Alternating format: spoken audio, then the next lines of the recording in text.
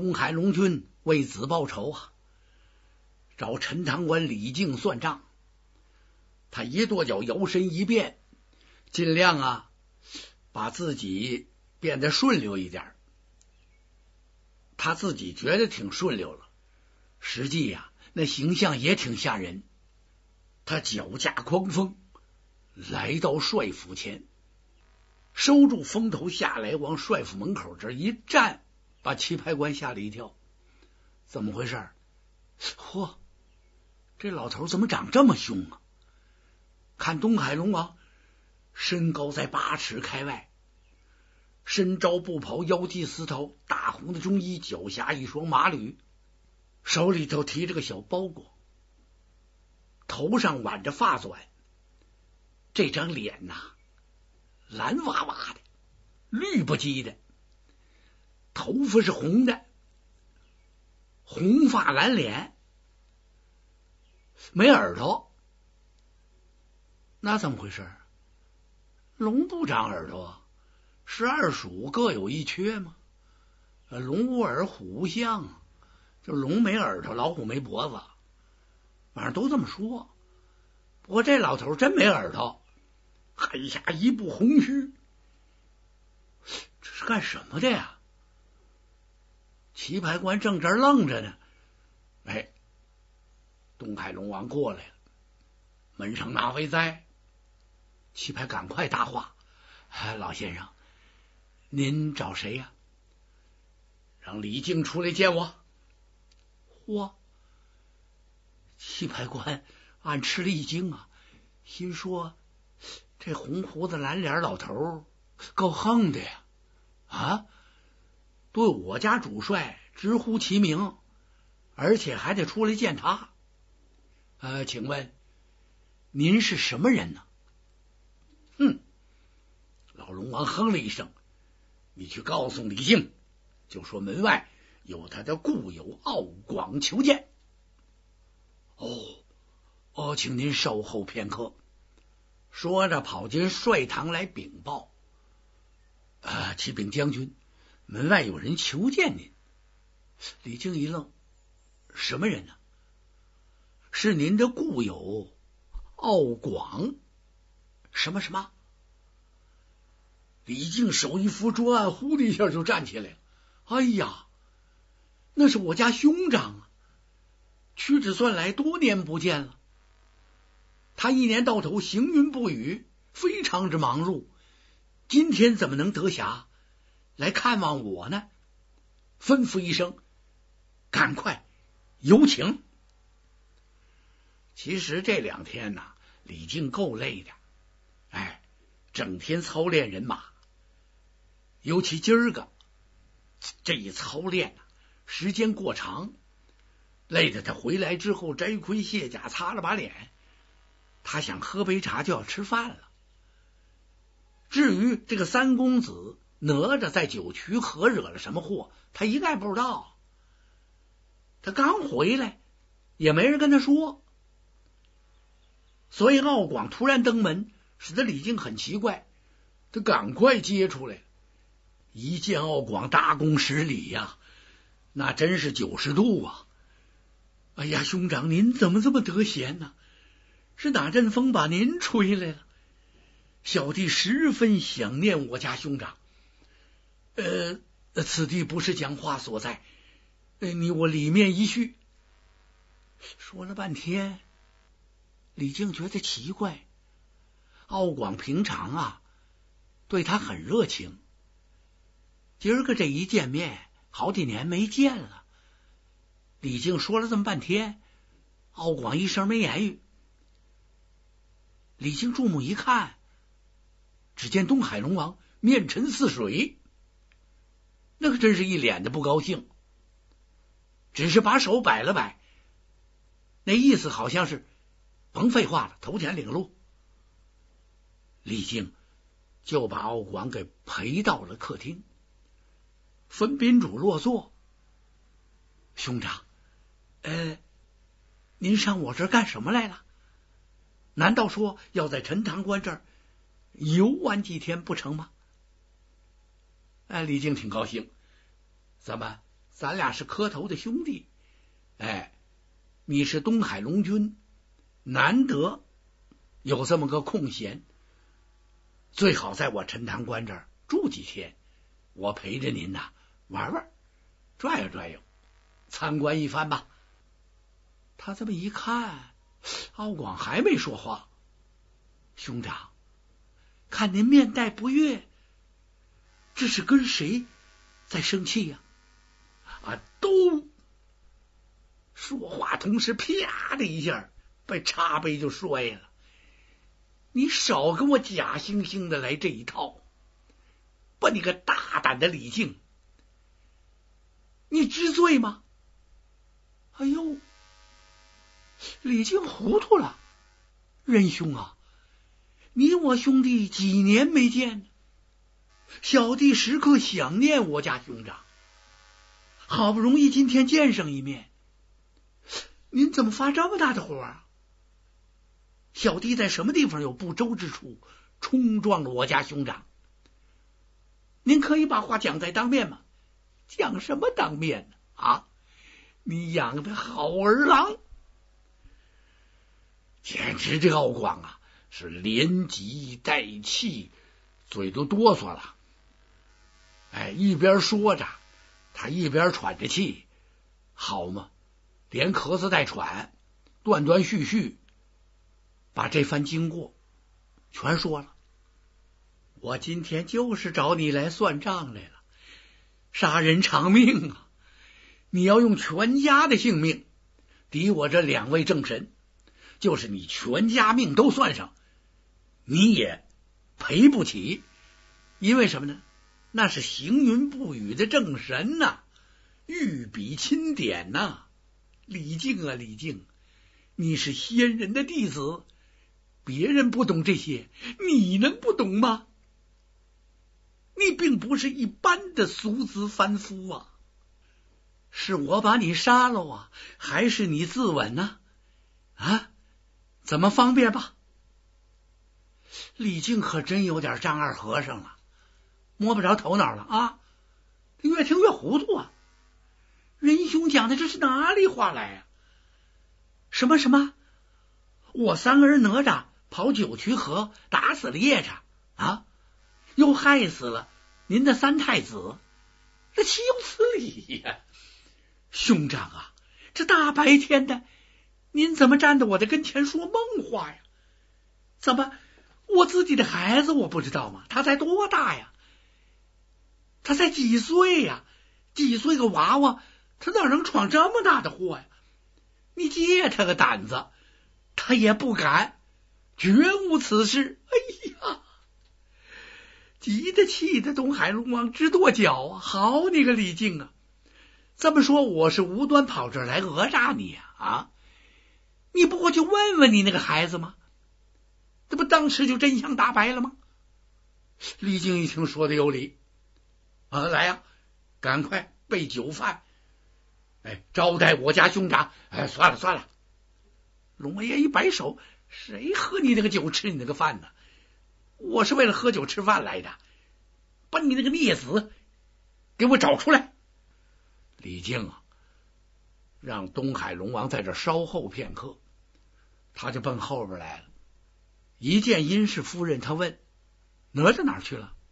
殷氏夫人偷眼一看，不好，她觉得老爷的气色不对，好像是顶着气儿来的。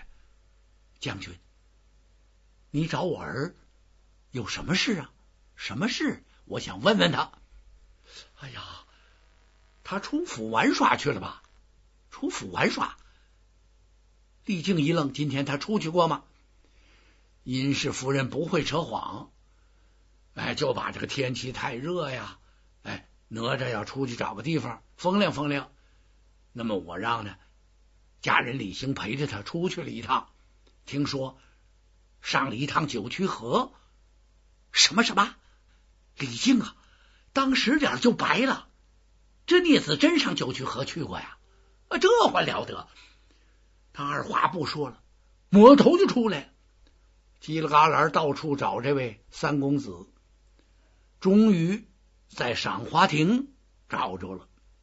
李靖一看，小花亭的窗户撂着，门插着，他心想：难道这孽子真在里面？他过来一叫门，里边答话了：“谁呀？”哎呦！李靖心想：行，怎么在这儿呢？呃，是我儿啊，把门开开。哦，哪吒一听父帅回来了，非常高兴，蹦起来过来，咵嚓一下把门打开。父帅，请进。李靖进屋一看，哪吒系着个围裙啊，地下铺了个大蒲团，他坐在那蒲团那儿，嚯，堆着一大堆原料。跟绳子似的，看来啊，已经编了一半了。啊，我儿你在此作甚？你在这干什么呢？哈哈，父帅，我正想啊，给您一个惊喜，因为这活我还没干完，我正在给父亲您编一条判甲涛。哦，李靖点点头，你使什么东西给我编的判甲涛？哈哈。父帅，恐怕您猜他个三天两夜也猜不着啊！我用的是世上珍奇之物，甭管他是哪员大将，哎，也甭管是什么样的武夫，恐怕连当今天子他也啊没有这件东西。我这是在用龙筋给您编的啊！李靖听到这儿，嗡的一下，眼前一黑，头就大了。龙筋，儿啊，你从哪里弄来的龙筋呢？哪吒毕竟还是个孩子呀，他非常的天真，说话也不会拐弯。哎，怎么回事？就来一个直来直去，不招老爷生气呀？有一句说一句。他就把九曲河洗澡的事，连打死叶叉，哎，再把这个龙王三太子怎么抽的筋，他全说了。哎呀，李靖听完之后体似筛糠啊，当时都动不了窝了。我把你这孽子啊，抬起手来，啪，就给了哪吒一巴掌。哪吒长这么大。还头回挨父亲的打，把哪吒给打懵了。您看，父帅这是何意？啊孩儿我完全是出自于孝心呐，也可以说是一片好心呐。您看，我这套已经编了一半了，这龙筋判甲套，父帅您要顶盔挂甲之后啊，往身上这么一缠一绕，到两军阵前不用打呀。就得把敌将给喝退，他就得吓跑了。李靖这气别说了，怎么人家找上门来了？哪吒一听，谁找上门来了？东海龙君敖广，你这孽子，你闯了他天的大祸，咱全家性命也赔不起。你杀死了两位行云布雨的正神。那是受过玉帝之封，御笔钦点。你，哎呀！李靖越说越多呀，急得直跺脚。怎么我跟他说这有什么用啊？他也听不明白。他要明白，他哪能闯这么大的祸呀？哪吒听完了之后啊，微微一笑。嗨，父亲何必着慌？怎么他行云布雨正神怎么了？他什么神？他不也得讲理吗？常言说得好，有理走遍天下，无理寸步难行啊！他再有来头，就算他是个正神，他随便伤人也不行啊！孩儿我没招他呀，我不过在那河岔子那儿洗个澡，那个两瓣头上来不容分说，抡起狼牙棒就打。后来来的那小伙子，我还真想跟他交个朋友，我看他挺和善的这么个人。谁知道他比那两半脑袋还不讲理，比他还凶，就这么我们打起来了。这玩意儿当场不让步，我举手不留情啊！我一看，我没成想他是条龙，那么他现了原形，原来是条龙啊！我就想到您了，我就把这个龙筋抽了，来给您这编套。您看，这不是吗？眼看就快编完了，您不妨试试。把李靖给气的呀！怎么你还在这跟我说呢？是什么呀？是啊，东海龙君那儿等着讨命呢。索命龙王他不走，他在问：是他亲手把咱杀了好，还是让我自刎而亡？你说这可怎么办呢？哪吒一看这么严重，父帅不必着急。哎，常言说得好，一人做事一人当。哎，孩儿今天呢，不是闯了个祸吗？呃，我去跟这个东海龙王说说。父帅，您认识他？什么？我认识他。我们冲北磕头即为金兰，那是我家兄长。哦，哪吒明白了。要这么论呢，我还得称他一声伯父。嗨，我跟他说说就算了。这个涛我也不编了。这些龙筋，长的、短的、粗的、细的，一根不少。我都还给他不就得了吗？让他提了回去，还能怎么着呀？哈！李靖一听你说的可真面的呢，这这就算完了？那那还要怎么样？走，我跟您去看看。好，跟我来。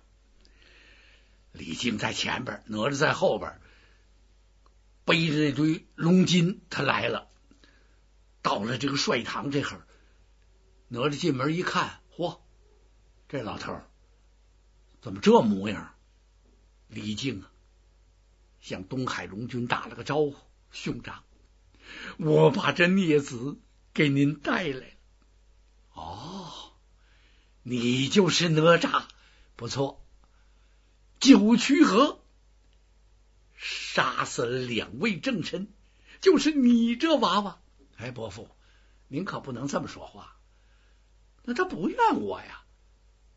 我得把这始末缘由跟您说说，他是这么怎么怎么回事？不信，你把星儿叫来问问他。再说，为这区区小事，伯父不至于这么动怒啊！尤其是逼得我父亲神魂颠倒，不知所措。你想想，你们还是磕头兄弟，你这不多余吗？这不是，这不是小题大做吗？把东海龙王气的，这叫小题大做呀！你这个娃娃，我这娃娃怎么了？方才听我父亲一说，我才知道啊，您和我父亲是金兰之交。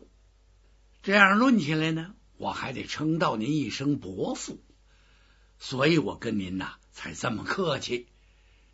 您甭上火了，呃，我现在认个错啊，您看。这不是您儿子那些金吗？粗的、细的、长的、短的，一根不少。您就把它拿回去就得了。咱们这事情啊，就摆平了。东海龙王一听什么，这就摆平了。哎呀，不见这堆龙金还好啊，一见龙金呐，东海龙王心头滴血呀！这是儿子的金呐。他真想放声大哭啊！可是地方不对，站在李靖帅府这儿，我咧个老嘴这么哭啊！我不哭了，用手把这堆龙筋这么一团，往兜里头一揣呀。他站在李靖的面前，把实话告诉你：这个事情没有完，你就拿全家的命。抵我儿子的命都不行了，为什么这么说呢？我要上天呐，我要到天宫去状告你，我要水淹你的陈塘关，我把我几个兄弟，哎，南北西四海龙王聚到一处，他要在陈塘关这发大水。说完了之后啊，恶狠狠的。东海龙王一跺脚，手挑连龙，唰的一下，一阵清风，人不见了。回过头来再看李靖啊，木在那儿了，迷呆呆半晌，一句话没有。过了好半天呢，李靖才把这神缓过来，他一把把哪吒给抓住了。孽子啊，你听见了没有？全家的性命就丧在你这，你这娃娃的手上。哪吒还是没着急，哎，仍然挺平静。嗨，他轻轻的把父亲的手给推开了。父帅，您不必如此。您看您至于吓成这样吗？方才我这傲广伯父啊，哎，在气头上说了这么几句话，说他要上天上去告状，那肯定啊。这得要惊动玉皇大帝呀，这有什么关系啊？李靖一听啊，这还没关系。敖广要居四海龙王到陈塘关来为他的三太子报仇啊，那我陈塘关就完了，我全家性命为你搭上也行。可是这河城的百姓，哎呀，冤枉冤哉呀！他们招谁惹谁了？就这样落得家破人亡啊！啊，孽子，你还说这是小事一件呐？哪吒冷笑了一声啊，安慰他的父帅说：“父亲，您不必着急上火，咱怎么能够全家的性命给他抵偿呢？再说了，他把四海龙王找来，他还能找谁呀？八海龙王。”又当如何？李靖这气没那么些海，是啊，没那么些海更好了。就四海龙王都来，也没有什么可怕的。他动不了啊，咱陈塘关一砖一瓦，更伤害不着百姓。我怎么能给河城百姓带来灾难？我伯父敖广不是说了吗？他要上天上玉皇大帝前告您去。我跟他一块去，我们俩上天上打这场官司。父帅有所不知啊，今天孩儿跟您说实话吧，我也不是个凡夫俗子，我比这个东海龙王敖广一点也不小，说不定我的职位还比他高。我乃乾元山金光洞镇洞之宝灵珠子是也。说完这句话呀，哪吒把嘴一撇，一挺胸膛，大大样他溜达了，就把这位总兵大人给干这儿了。李靖全家一宿没合眼呐，哪吒呀是倒头就睡，而且这一觉睡醒了，他睁眼一看，正好午夜三更。行了，我该去了，上哪儿啊？南天门。等着东海龙王敖广去，哪吒往帅府正当中一站，一跺脚，噌的一下，唰，一道金光上了天了。刚走到半道上，后边有人叫他：“嘿嘿嘿，前边这不是灵珠子吗？”哟，哪吒一听，怪呀，怎么怎么在这半天云还有认识我的呢？他扭向回头一看，是个出家道人，不认识。怎么，爷们儿不认识我？我是你师叔啊，申公豹。